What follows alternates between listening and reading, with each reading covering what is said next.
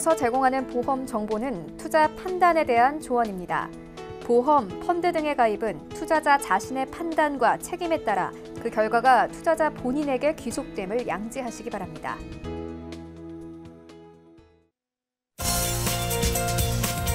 네, 보험에 대한 모든 것을 알려드립니다. 전문가 군단과 함께하는 시청자 맞춤형 보험 방송. 안녕하세요. 보험 플랜 119의 진행 민채합니다. 자, 어느덧 겨울의 문턱인 11월입니다. 날씨도 서늘함을 넘어서 제법 쌀쌀해지고 있는데요.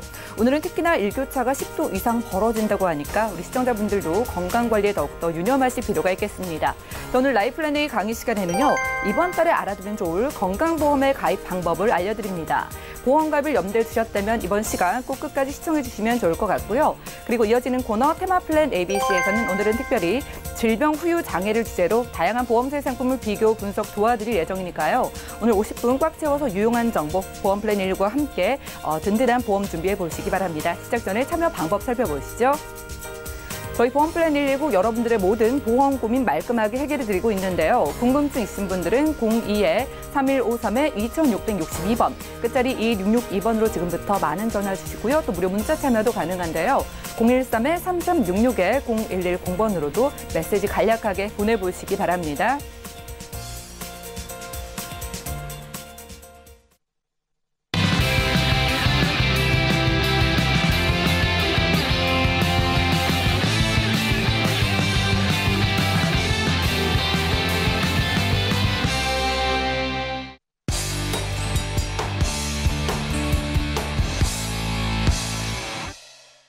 네, 시청자 여러분들의 보험 도우미 보험 플랜 119 시작합니다. 첫 순서는 꼭 필요한 보험 보장 항목을 알기 쉽게 짚어드리는 바로 라이플랜 A 강의 시간인데요. 자, 연말이라 건강검진 앞두신 분들 많으실 것 같은데요. 오늘은 이번 달에 알아두면 좋을 건강보험 가입 방법 알려드립니다. 이 시간 김성주 전문가님 만나보시죠. 예, 시청자님 안녕하세요. 오늘 건강보험 가입 방법에 대해서 말씀을 드리겠는데요. 제가 오늘 방송 개편 이후에 처음 이제 방송 안내를 해드리고 있는데 오늘 굉장히 좀 많은 내용들이 담겨져 있어요. 보시면서 궁금한 점 있으면 바로 저희 쪽에 연락을 주시면 될 것 같은데요. 일단 건강보험 가입 방법 여러 가지 방법들이 있겠죠. 그 첫 번째로 건강검진을 받기 전에 꼭 보험을 체크해 보시는 게 굉장히 중요합니다. 요즘에 워낙 검사 장비가 잘 발달되어 있고 또 의료보험 건강검진을 굉장히 많이 하기 때문에 이 보험을 가입하시기 전에 만약에 건강보험이 제대로 되어 있지 않다고 하면은 이제 무슨 질병이나 또, 는 간단한 시술을 통해 가지고 무슨 치료를 받았을 때 굉장히 내 보험에 대해서 그때 뒤늦게 알게 되는데요. 그때 되면은 부족한 점을 많이 알게 되기 때문에 오히려 건강보험 받기 전에 꼭 반드시 보험을 체크할 필요가 있는데요. 일단 연령별 보시면은 우리 20대, 30대 위주의 기만 기본적인 검진은 이제 보통 가족력이 있으신 분들이 검진을 굉장히 좀 많이 하시는 것 같아요. 가족력 있으신 분들은 거, 그 거기에 맞춰서 검진을 많이 하시고 특히나 또 비만이나 당뇨가 있다 이런 검진들 중점적으로 많이들 하시는 편인데 4, 50대들은 이제 암에 관련돼서 우리 내시경이나 또는 초음파를 통해서 종합적인 건강검진을 받으시는 게 굉장히 좀 필요성이 있고요. 60대 이상은 우리 심혈관 관련돼서 또는 그 치매 관련돼서 검사들을 굉장히 좀 추가적으로 많이들 하시는 편입니다. 우리 연령별 2018년 통계를 보면은 사망 원인 굉장히 젊은 나이 때는 자살이 굉장히 많죠. 그리고 암이라든지 그리고 또 심장 질환 대부분 보시면은요 나이대별로 약간의 차이는 있지만 자살이 굉장히 좀 많은 편이고 그리고 암이나 또 뇌혈관, 심혈관 질환이 굉장히 좀 많이 분포를 하고 있는데요. 그 사망률을 보시면은 단연 남녀 보시면 암이 가장 많고요. 그리고 심혈관 질환, 그리고 폐렴, 알츠하이머, 치매, 그리고 자살. 자살 같은 경우도 이제 자살 같은 경우도 이제 보험에서 적용을 받으시려면 아무래도 생명보험 쪽에서 혜택을 주고 있고요. 제가 이게 실제적인 사례가 있는데 과거 한 10년 전에 이 자살 보험금을 그 상해 재해 사망으로 인해 가지고 자살을 엮어 가지고 받은 적이 있었는데요. 그때 이후에 생명보험에서는 2년 이후에 면책 기간을 두기는 했죠. 자살이 굉장히 많고 그리고 암, 심장 질환이 그 뒤에 순위를 잇고 있습니다. 그리고 무사고 가입제도 굉장히 좀 요즘에 좀 각각의 회사들이 아주 미세하게 출제가 되고 있는데 보시면 가입 첫날부터 암을 보장하는 회사들이 나타나고 있습니다. 이런 것들은 왜 필요하시냐면은 우리가 용, 대장 용종이라든지 아니면 내시경을 통해 가지고 용종이라든지 아니면 간단한 혈액 검사를 통해 가지고 암이 나올 수도 있거든 쉽게 초기에 초기에 암이 발견된다고 하면은 우리 치료도 쉽고 그리고 생명에도 크게 영향을 끼치지 않는 그런 형태를 띄었을 때 이 보장 금액이 가입하자마자 나온다면 우리 보통 대부분 암은 90일 면책이 있잖아요. 근데 첫날부터 보장을 해주는 암을 체크를 하신다고 하면은 아무래도 내 건강검진 통해서 악성 종양이 발견되면 이 암 진단금을 받을 수 있는 사례가 될 수가 있겠죠.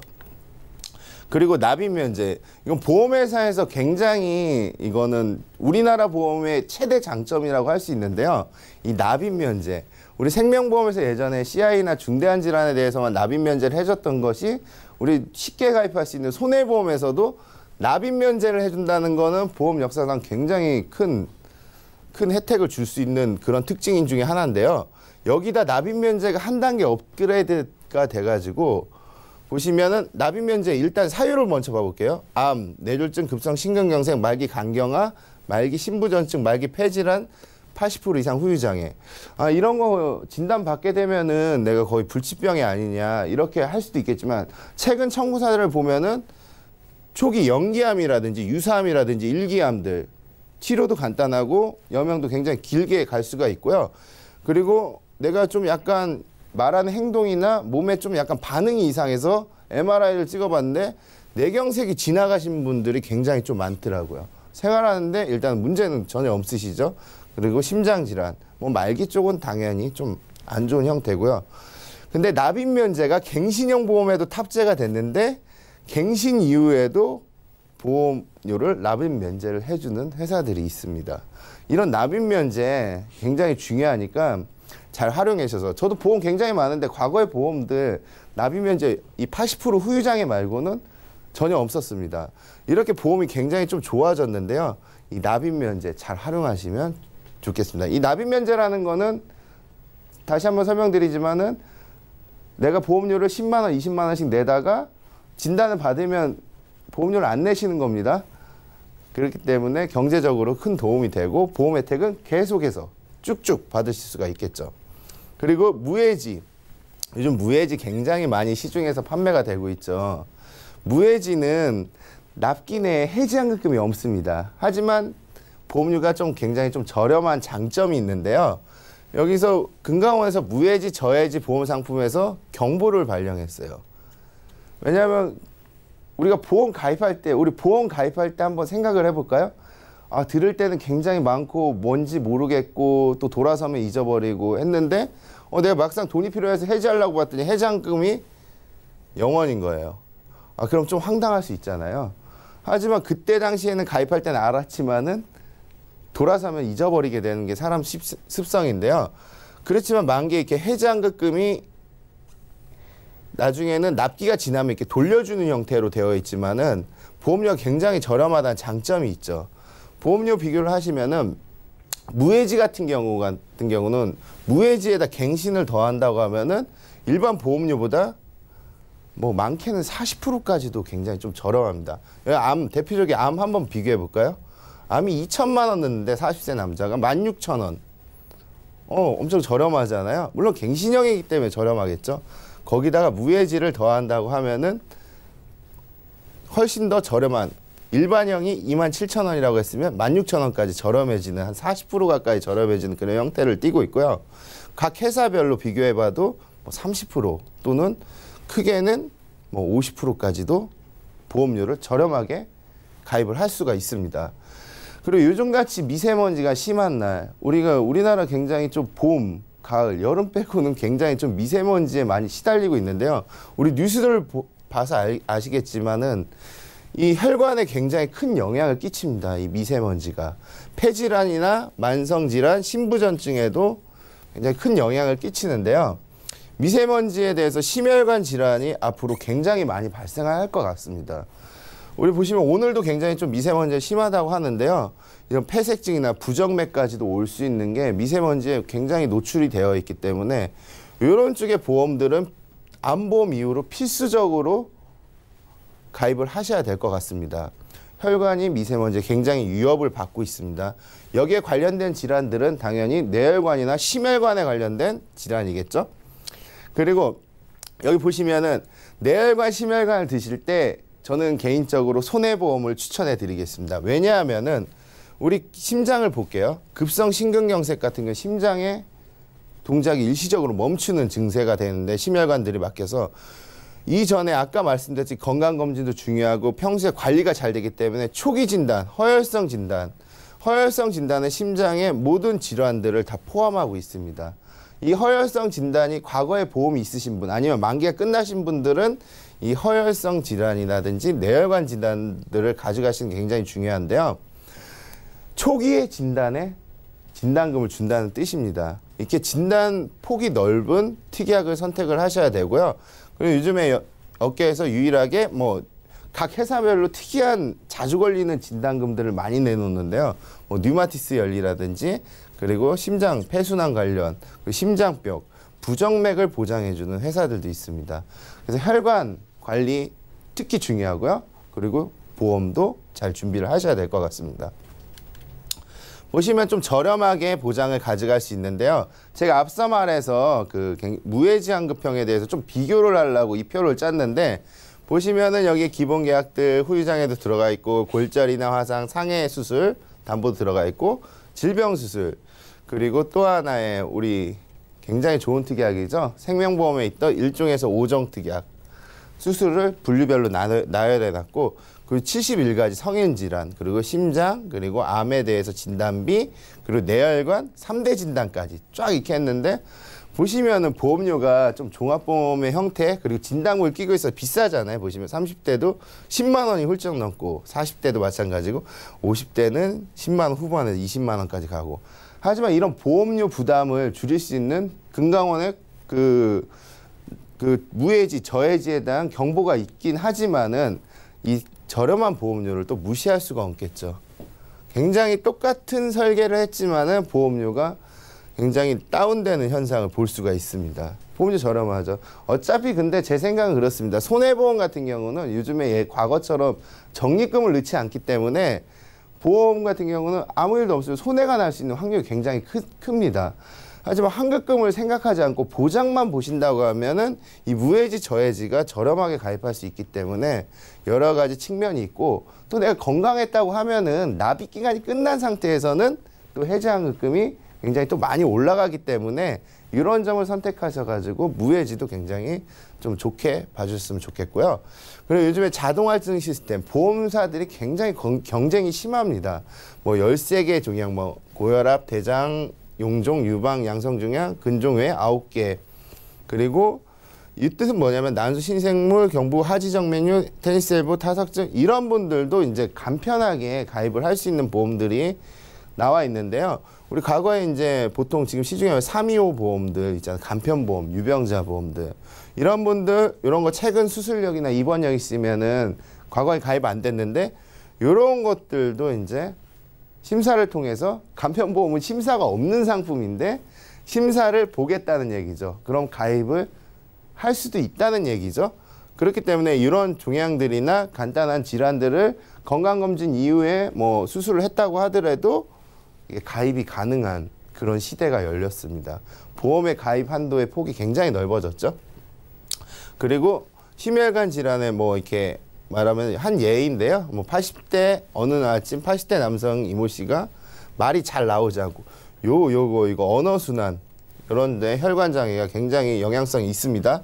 그리고 팔 다리 하지에 상하지에 뭔가 자극이 온다 하면은 응급실로 가겠죠. 응급실로 갔는데 결과는 심장박동 세동 환자가 5년간 두 배 정, 아, 이렇게 가게 되면은 대부분의 뇌혈관이나 심혈관에 문제가 있다고 의심을 하셔야 돼요. 이렇게 해서 MRI나 MRA를 검사를 하게 되면은 대부분 뇌경, 뇌경색이나 뇌졸중을 스쳐갔던 흔적이 나올 확률이 굉장히 높습니다. 심장박동 환자가 이제 5년간 두배 이상 증가 증가를 했는데요. 이렇게 심장에 대해서 그리고 혈관에 대해서 굉장히 위험성이 높아지는 통계 자료를 볼 수가 있습니다. 보시면은 TAVI 수술에 대해서 나오는데요.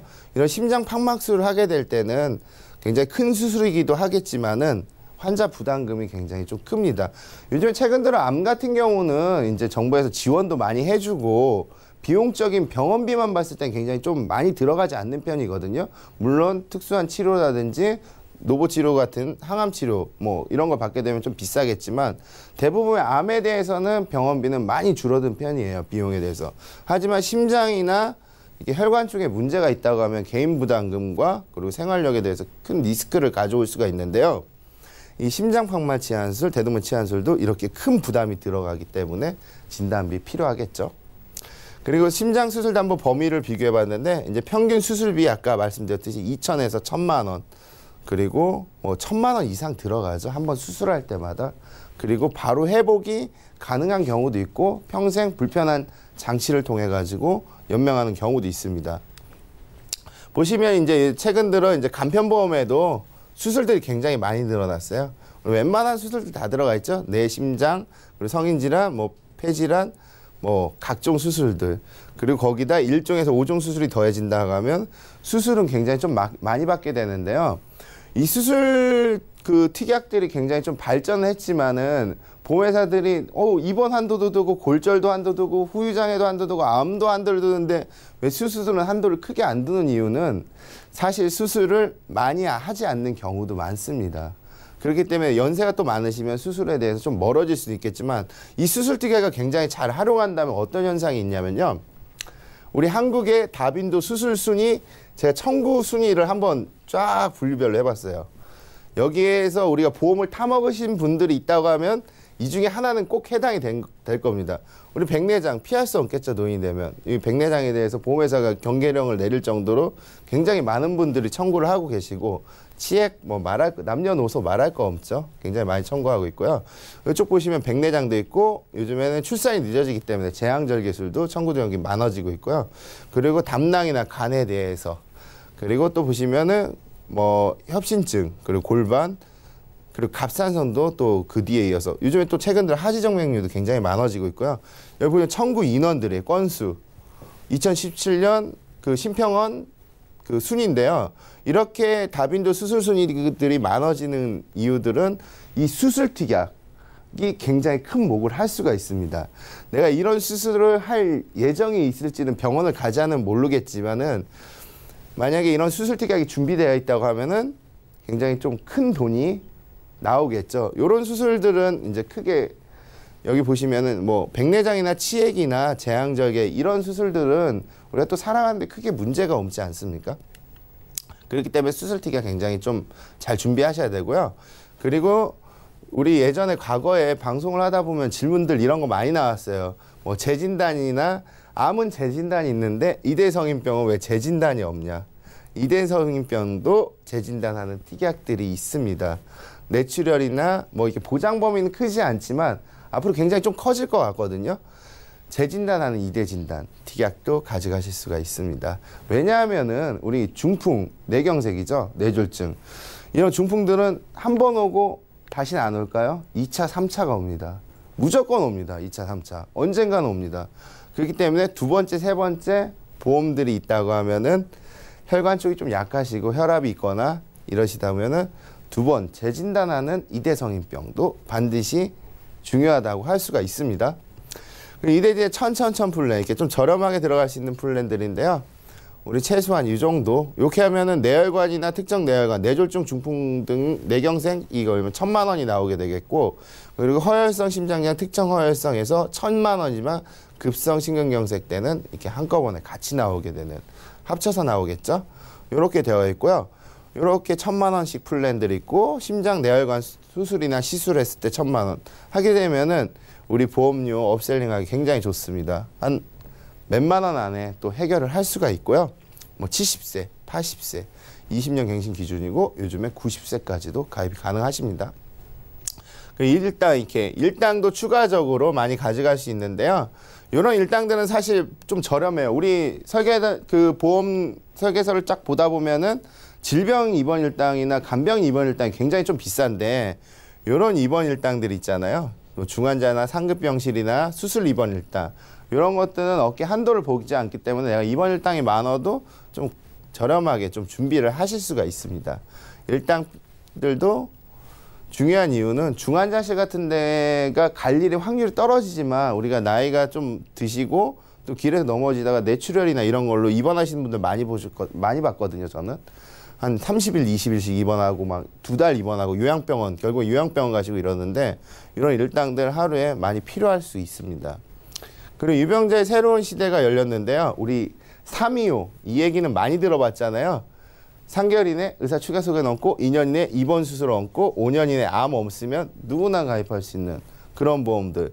이런 시대에서 또 한 번 업그레이드가 된 게 3일 보험이라고 해가지고 3개월 이내 의사 추가 소견 얹고 1년 이내 입원 없으면은 뭐 암 환자들도 암 진단 받으셨던 보험들 분들도 이제 암보험을 가입할 수 있는 시대가 열렸고요.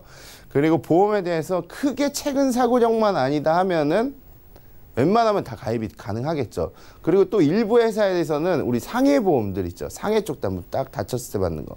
입원하고 계신 분들도 가입을 할 수 있는 상해 보험이 있습니다. 상해 보험 같은 경우는 특별히 그 나이대별 요율이 없기 때문에 나이가 드신 분 많으신 분들도 젊으신 분들도 금액대가 비슷해요. 굉장히 좀 저렴한 편이고요. 이렇게 보험들이 유병력이 있어도 또는 간편하게 보험을 가입할 수 있는 시대가 열렸죠.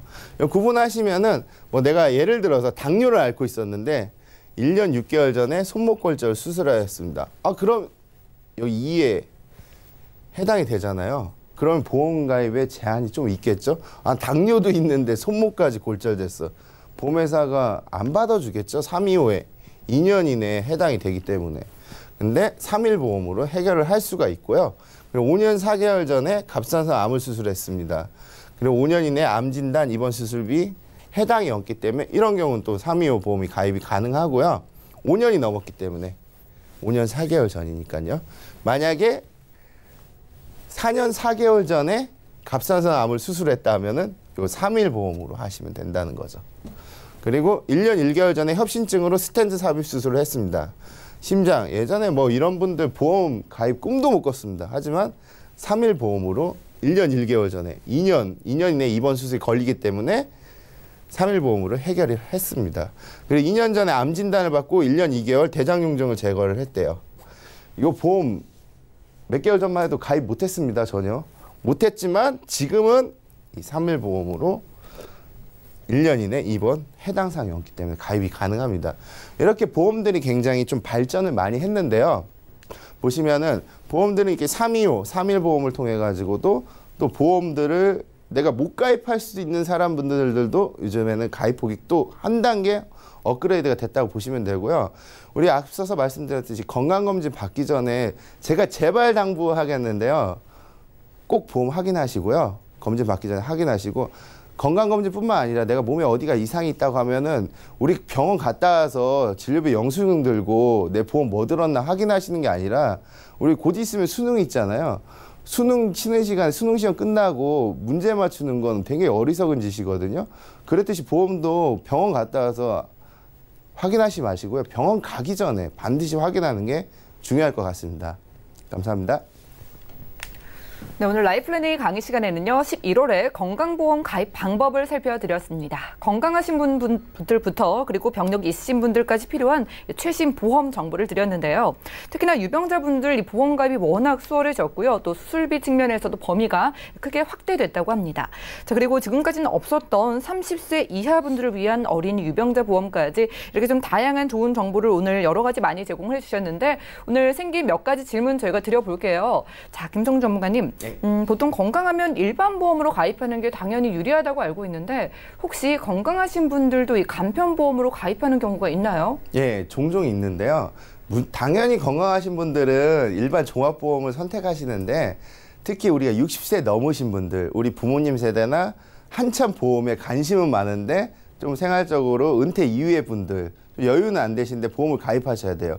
그럼 비싼 보험료는 좀 가입하기가 힘들잖아요. 보통 실손이라든지 지금까지 실손이 없으셨던 분 아니면 지- 건강보험이 좀 부족했던 분 아예 보험이 없으신 분들이 보험을 가입하려고 하다 보면은 우리 일반 생명보험 같은 경우는 뭐 사망을 뭐 상속이나 징여 쪽이면은 생명으로 가야겠지만 그 예를 들어서 그 뭐 건강보험이 비싸게 측정이 되는 경우가 있어요. 주계약이나 선택특약들을 넣는 경우들이 있는데 손해보험 쪽에서는 그 쓸데없이 사망보험금이라든지 아니면 꼭 필수적으로 넣어야 되는 담보니 몇만 원을 차지하는 경우 전체 보험료를 좀 깎아 먹어요.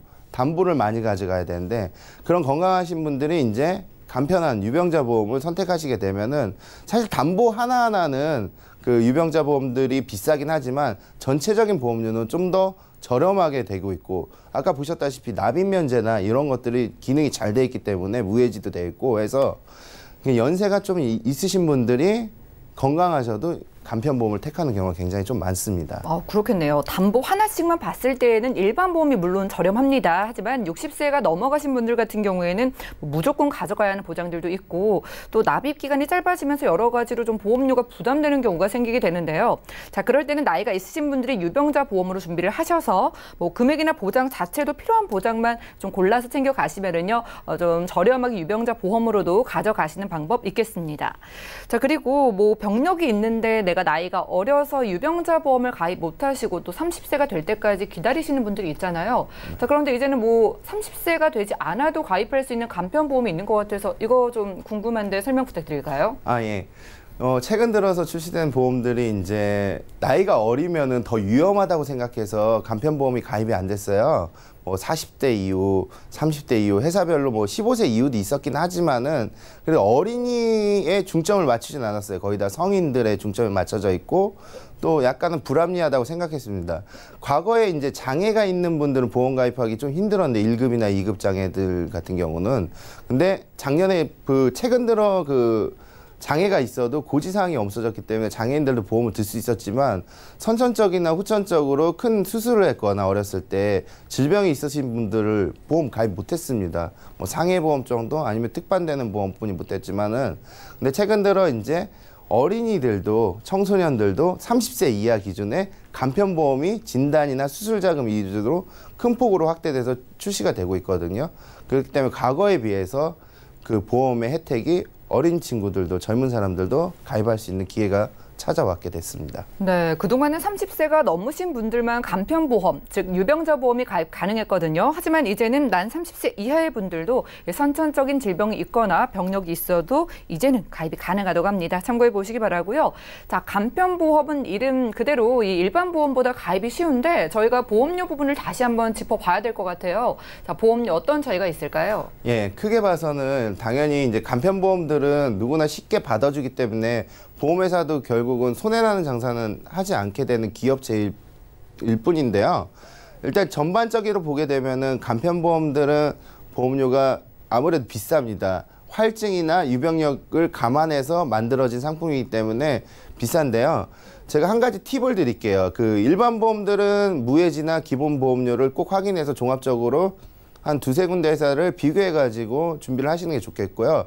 간편보험 특히 간편보험은 나 아까 말했듯이 납입 면제라든지 그리고 각종 기능들 그리고 보험료도 굉장히 중요한데 특히나 암이나 이런 진단 자금은 좀 비싼 편이에요. 또 이대성인병도 비싼 편이긴 합니다. 솔직히 말해가지고 하지만은 수술이나 입원 같은 경우는 좀 저렴한 편이고요. 그리고 무해지환급형이나 이런 또 기능적인 측면을 활용하면 보험료를 다운시킬 수가 있는데 특히나 좀 암보험 같은 경우는 장점이 우리가 일반암 같은 경우 2천 넣으면 유사암도 2천 들어가거든 간편보험에서는 근데 보험료가 굉장히 좀 비쌉니다. 암보험 정도는 좀 따로 빼서 들으시면은 좀 저렴하게 한 1, 2만 원 정도 더 절약을 하실 수가 있고요. 이대성인병 같은 경우는 나이대가 많으시면은 따로 파는 상품들이 많지는 않기 때문에 좀 간편병을 활용하신다고 하면은 제 얘기는 종합해주면 어떤 뜻이냐면요. 이렇게 크게 종합적으로 들었을 때 가격을 좀 비교해 보시고 이런 부분은 좀 따로 띄워놔도 좀 저렴하다고 하면은 이런 식으로 복- 복층 설계나 증권을 여러 개를 설계를 하신다고 하면은 설계를 받아보시면은 금액을 좀 비교할 수 있는 형태가 되거든요. 그런 점을 좀 활용하셔서 하시면은 좋은 보험을 가입하실 수가 있을 것 같습니다. 네, 알겠습니다. 간편보험 안에도 비싼 보장과 또 저렴한 보장이 섞여 있는 만큼요. 여러 회사를 전문가와 함께 비교를 해보시고 준비를 하실 필요가 있겠습니다. 자, 암보장만 따로 준비하는 방법 등 여러 가지 방법이 있으니까 전문가의 도움 받아보시기 바라고요. 자, 오늘은 김성중 전문가님과 함께 라이플랜의 강의 시간 함께했습니다.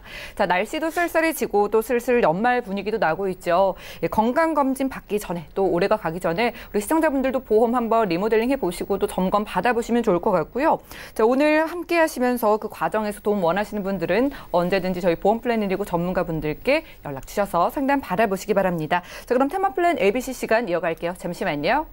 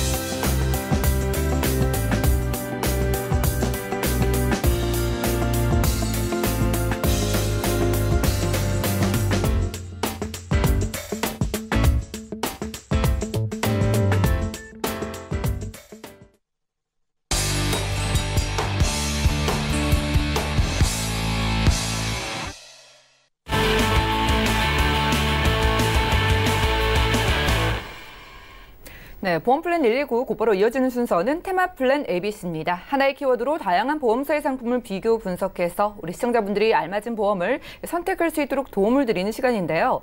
자, 테마 플랜 ABC 오늘의 주제는 바로 질병 후유 장애입니다. 자, 오늘은 이훈수 전문가님 모시고 자세한 이야기 나눠볼게요. 어서 오시죠.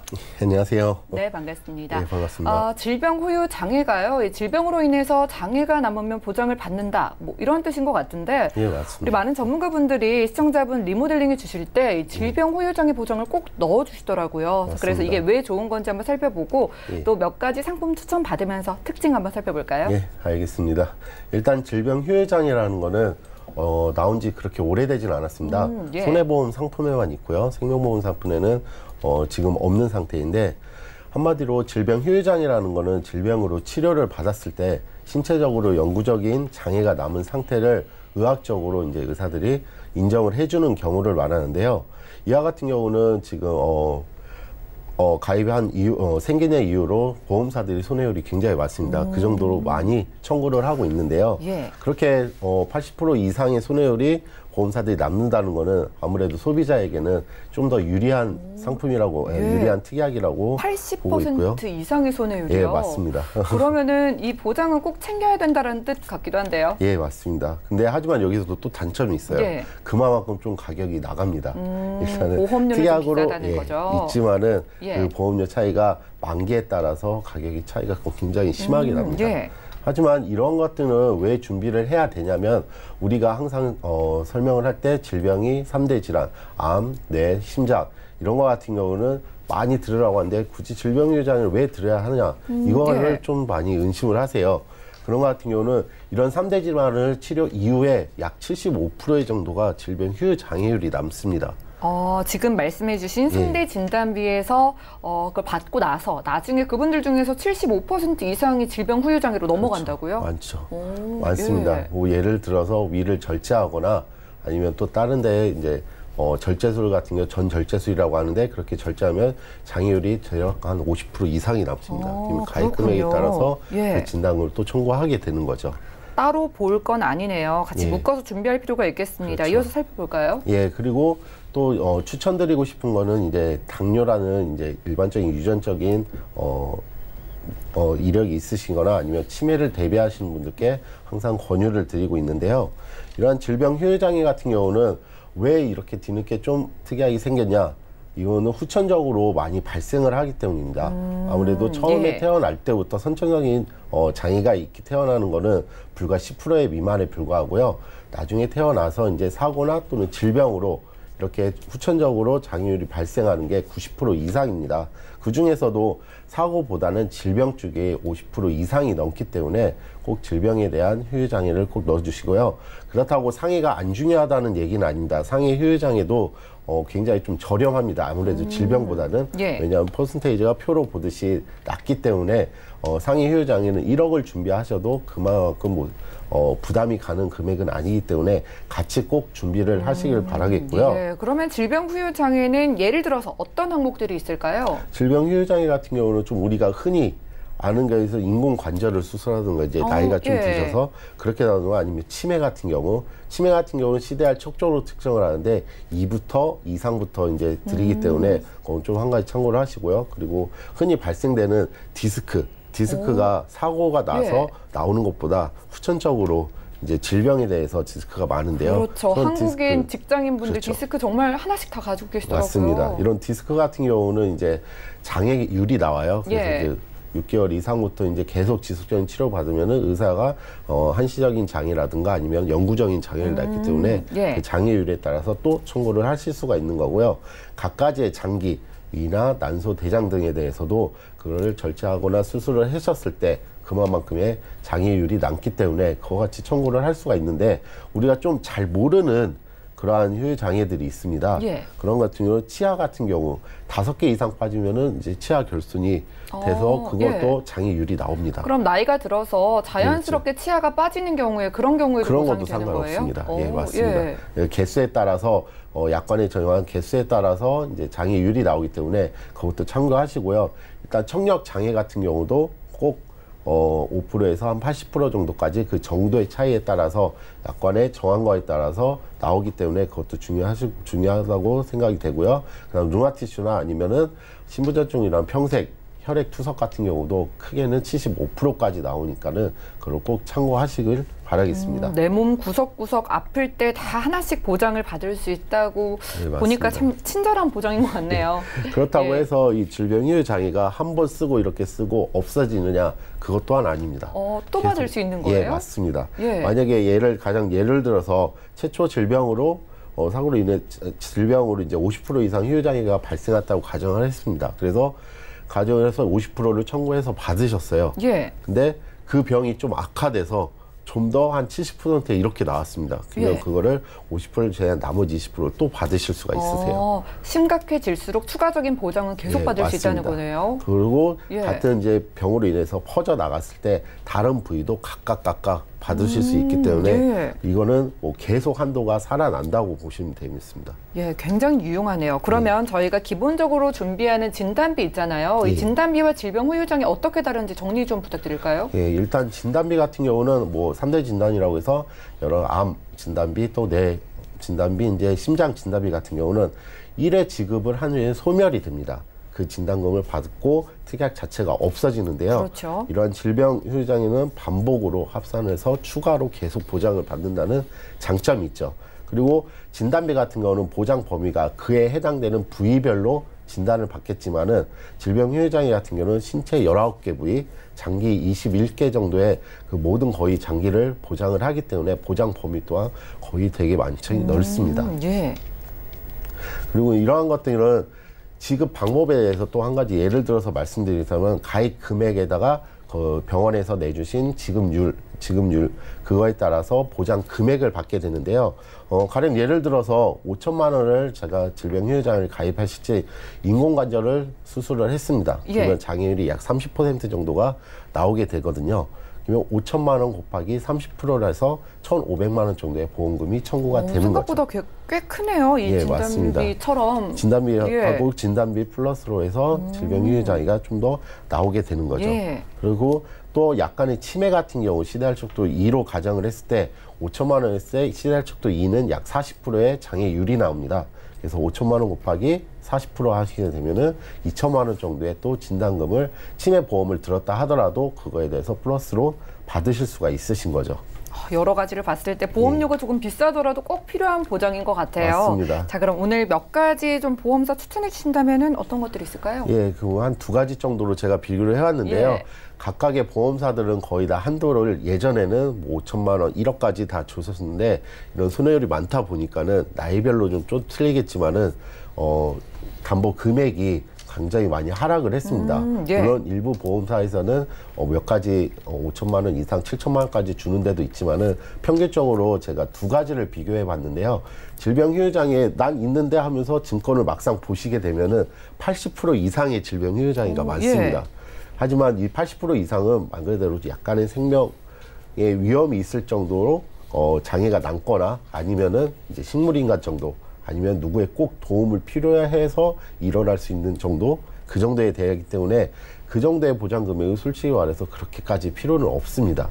그래서 하지만 기본 담보로 있기 때문에 그런 거는 좀 줄여 주시고 대신 3%에서 100% 또는 20%에서 100% 이런 두 개로 제가 좀 비교를 해왔는데요. 이렇게 두 개로 비교한 이유는 질병 휴유장애라는 게 뭐 짜잘하게 뭐 몇십만 원 이렇게 받겠다고 가입하는 담보가 아니기 때문에 좀 진단비가 정도로 천만 원, 뭐 많게는 적게는 뭐 오, 육백만 원 이런 식으로 나오기 때문에 삼 3%부터 하고 20%를 제가 한번 비교를 해봤는데요. 예. 일단 40대 기준은 약 3만 원, 여성 남성 같은 경우는 3만 원, 여성 같은 경우 2만 원인데 20% 이상부터는 좀 다운이 됩니다. 많이. 그래서 남성 같은 경우는 13,000원, 그리고 여성 같은 경우는 16,000원. 40대 때는 여성이 좀 더 높습니다. 이 높은 이유는 손해율에 따라서 측정하기 나름이니까는요. 그거는 좀 참고해 보시고요. 그리고 50대나 3%일 때는 50 50대나 또는 여성 같은 경우 어, 50대 남성 같은 경우는 거의 한 4만 원대 갖고 여성 때는 4만 원 좀 위에 어 보험료가 측정이 되고요. 20%일 때는 또 저렴해집니다. 그리고 50대일 때는 어 10만 5천 원에서 여성 같은 경우는 2만 천 원, 60세는 조금 비싸지고 마찬가지로 20 20% 정도는 좀 더 저렴합니다. 이와 같은 경우는 왜 이렇게 굳이 이렇게 20%하고 3% 3%짜리가 더 좋은 게 아니냐? 아니면 난 20%겠는데 그 3%에서 19%까지는 못 받는 거 아니냐? 예, 맞습니다. 그렇지만은 이 보장 어 보험료 차이가 20년 납 만약에 80세 만기로 하면 이 정도보다 조금은 저렴하겠죠. 하지만은 90세 만기로 했을 때는 보험료가 몇만 원대로 되게 비싸집니다. 물론 80세 만기로 많이 설정이 돼 있으실 예. 거예요. 하지만 80세 이상부터의 질병 후유장애가 좀 더 많이 분포가 되기 때문에 그, 어, 뭐 보험료에 따라서 뭐 선택 사유겠죠. 선택은 어, 자유겠지만은 저 같은 경우는 20년 납으로 해서 90세 만기로 했을 때 어, 이 보험료들을 좀 더 내더라도 이 정도는 갖고 가시는 게참 좋으실 거라고 예상이 됩니다. 네, 비교를 한번 해봤네요. 한 번 받고 끝나는 진단비와 달리 이 반복해서 계속해서 지급이 가능하고 또 머리끝부터 발끝까지 온몸에 보장 가능하다고 하니까 이 질병 후유 장애 많은 전문가분들이 왜 좀 추천을 해주시는지 이해가 갑니다. 자, A사와 B사로 나눠서 이야기를 해주셨는데 저희가 딱 한 가지를 선택한다면 전문가님은 어떤 거 고르시겠어요? 어, 물론 이제 재정 사정에 따라서 틀리겠지만은 저 같은 경우는 비사를 좀 선택하는 게좀 약간은 가성비 면에서 현명하다고 생각을 합니다. 그 이유는 일당적으로 보험료가 좀 저렴합니다. 왜냐하면 이 특약만 드는 게 아니라 삼대 진단금이라든가 수술비, 입원비 같은 경우를 보험료 전체적으로 봤을 때 좀 더 질병 후유 장애를 넣게 되면은 상당히 좀 한 2, 3만 원 정도가 비싸집니다.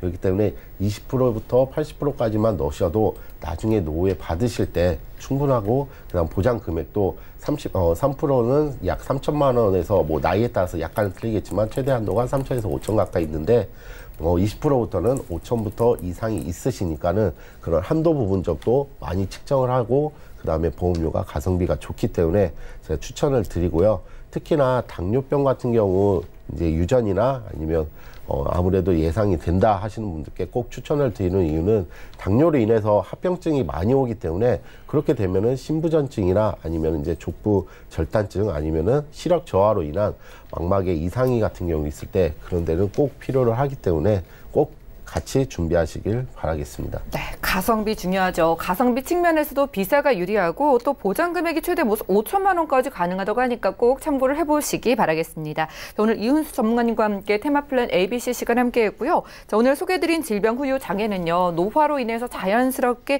생기는 경우가 많기 때문에 100세 시대 그리고 120세 시대가 다가올수록 더욱더 꼭 필요한 보장이라고 볼 수 있겠습니다. 인공 관절이나 디스크 치매 등 내 몸 머리끝부터 발끝까지 생길 수 있는 모든 장애에 대해서 반복 보장을 해준다고 하니까 여러분들도 진단비를 또 별도로 진단비 외에도 꼭 이 질병 후유 장애 챙겨보시면 좋을 것 같고요. 저희가 정리드린 정보는 투자 판단에 대한 조언일 뿐 해당 보험의 가치와 수익률을 보장하지 않는다는 점도 꼭 기억을 해주시면 좋겠습니다. 자, 지금 여러분들은 맞춤형 보험 솔루션 프로그램 보험 플랜 119 함께하고 계신데요. 자, 지금부터는 전화 문자를 통해서 우리 시청자분들의 보험 고민을 해결을 해드리는 시간입니다. 두 분의 훌륭한 전문가 모시고 저희가 함께할 테니까 많은 연락 주시고요. 지금 한 분 전화 연결이 돼 있다고 하네요. 만나보겠습니다. 여보세요. 예, 여보세요? 예, 안녕하세요. 예, 안녕하세요. 예, 연결되셨는데 어떤 보험 고민 가지고 계실까요? 아, 저요? 저는 예전에 저 예. 뭐 보험 들어놓은 게 있었는데요. 주위 그 지인분이 그 보상 내용이 좀 별로라는 얘기가 좀 있, 고요 아, 예. 그 1년 전에 제가 저 당, 당뇨 그 진단을 좀 받은 게 있어가지고 예. 그것 때문에 뭐 저기 새로 가입이 가능한지 음. 이 부분을 좀 궁금해서 좀 연락을 드렸습니다. 네, 새로 가입이 가능한지 아니면 가지고 가면서 리모델링을 하면 좋을지 궁금하신 거죠? 네네. 네, 잘 살펴드리겠습니다. 올해 나이가 어떻게 되실까요? 어, 42입니다.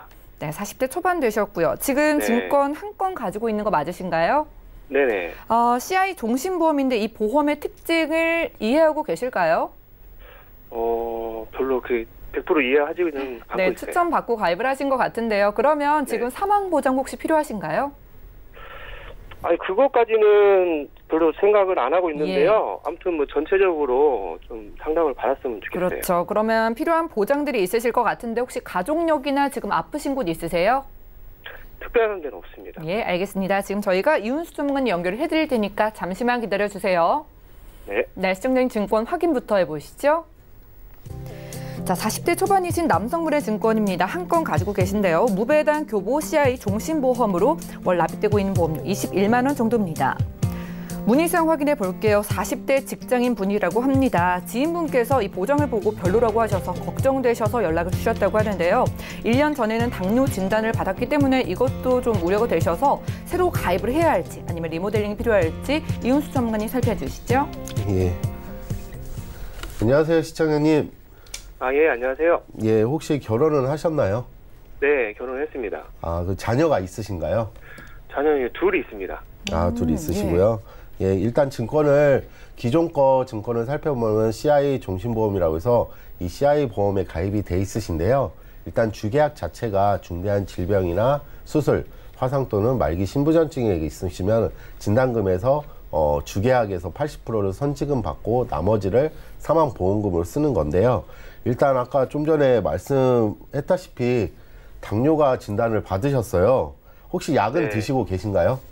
약은 그때 당시에 한 달 정도 먹다가 이렇게 별- 계속 먹지는 않았어요. 어, 예. 예, 그거는 한번 가입 전에 꼭 진단을 한번 더 받아보시고 이상이 있는지 없는지 그거를 한번 먼저 어, 참고하시고요.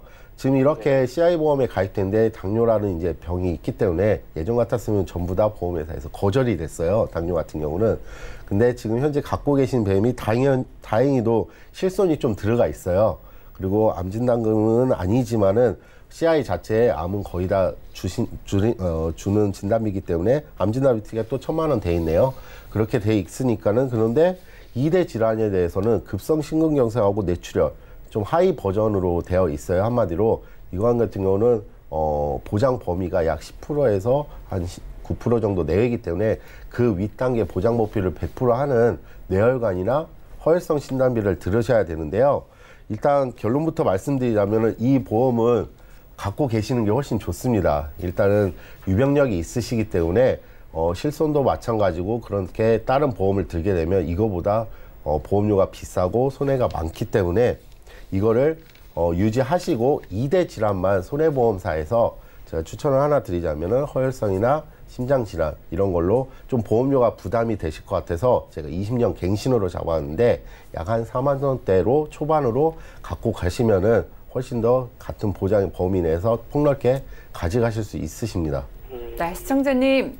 지금 네. 관계상 상담 여기까지 도움 드리고요. 당뇨 부분 네. 꼭 확인을 해보시고 저희가 이대 질환 보장만 좀 추가로 해드렸으니까 이렇게 가져가시면 좋을 것 같습니다. 아, 예. 네, 고맙습니다. 여기까지 할게요. 네, 감사합니다. 네, 전화 상담까지 해봤습니다. 저희가 오늘 준비한 소식 여기까지고요. 저희가 주문드린 정보는 투자 판단에 대한 조언일 뿐 해당 보험의 가치와 수익률을 보장하지 않는다는 점 꼭 기억을 해주시기 바랍니다. 저희 보험 플랜 119 여러분들께 필요한 보험 정보로 다시 찾아올게요. 함께해 주신 여러분 고맙습니다. 본